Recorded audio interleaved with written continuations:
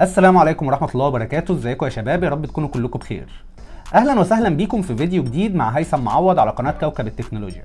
في الفترة اللي فاتت ناس كتير جدا كلمتني عن مشكلة بتقابلهم بعد تحديث iOS 17 أو اندرويد 13 والنهاردة هقول لكم إيه هي المشكلة دي وإزاي نقدر نحلها بمنتهى السهولة. بعد تثبيت التحديثات بعض الأجهزة بيحصل فيها مشاكل وبيكون الحل إنك تعمل format وللأسف إن ناس كتير بتعمل format وهم ما يعرفوش إن ال format ده هيمسح كل الملفات اللي موجودة على الجهاز. وبعد ما يعملوا الخطوات بتاعة ال format كل المشاكل اللي موجودة على الموبايل بتتحل. بس بيتفاجئوا في الآخر إن كل الملفات المهمة اتمسحت زي الصور والفيديوهات وأي حاجة موجودة على الموبايل بتتمسح. وده لأن زي ما أنتم عارفين ال format بيرجع الموبايل زي الجديد.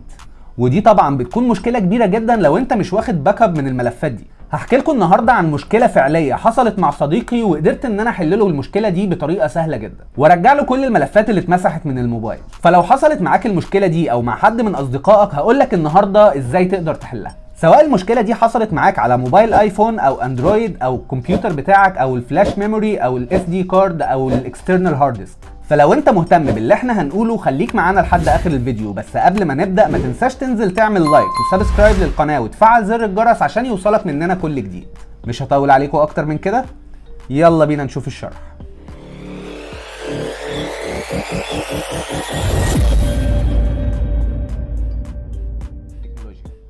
أهلا وسهلا بيكم مرة تانية على قناة كوكب التكنولوجيا. كلمني صديقي من أيام وهو زعلان جدا وبيقول لي الحقني. بعد ما عمل تحديث iOS 17 على الآيفون بتاعه لقى إن كل الملفات بتاعته اتمسحت بالغلط. وكان زعلان جدا ومتخيل إن الصور دي كده خلاص مش هترجع تاني. فبحثت كتير على الإنترنت لحد ما لقيت موقع اسمه AnyRecover وبصراحة ما كنتش مقتنع إن الموقع ده هيقدر يحل المشكلة إلا بعد ما قرأت كل الريفيوهات بتاعت الناس اللي استخدمته. واتأكدت إن الموقع فعلا قوي وهيقدر يعمل المطلوب. المهم قبل ما اكلم صاحبي واقول له ان أنا لقيت حل للمشكلة حبيت ان أنا اتأكد بنفسي. حملت البرنامج وثبته وافتكرت ان أنا كان عندي flash memory اتفرمطت مني بالغلط من فترة وكان عليها ملفات مهمة جدا. فقلت اجرب الأول واشوف التطبيق ده هيعمل إيه مع ال flash memory واول ما وصلت الفلاش على البرنامج وبدأ يعمل بحث ما بقتش متخيل اللي أنا شايفه. صور قديمة جدا وملفات مهمة جدا بدأت تظهر على البرنامج وقدرت أرجعها بطريقة سهلة جدا. المهم كلمت صاحبي وقلت له إن أنا لقيت حل للمشكلة بس هو ما كانش مصدق. فجاب الآيفون بتاعه جالي وأول ما وصلناه على الكمبيوتر وبدأ يعمل بحث والملفات بدأت تظهر لقيت صاحبي هيطير من الفرحة. وقدرت إني أرجع له كل الملفات اللي اتمسحت بسهولة جدا. وبعدها قررت إني لازم أقول لكم على التطبيق ده لأنه وارد جدا إن أي حد فيكم ممكن يتحط في الموقف ده.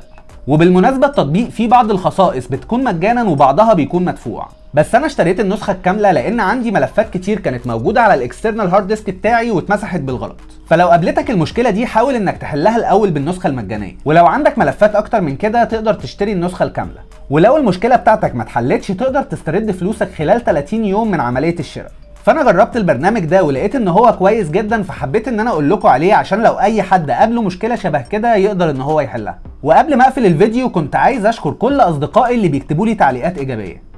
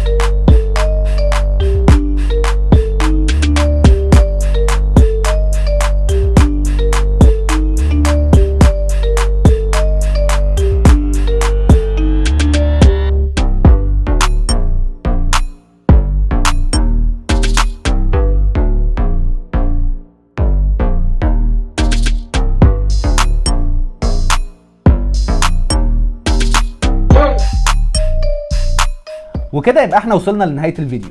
فلو استفدت من الفيديو ما تنساش تنزل تعمل like و subscribe للقناة وتفعل زر الجرس عشان يوصلك مننا كل جديد. بشكركم جدا لاستماعكم وبتمنى أكون فدتكم.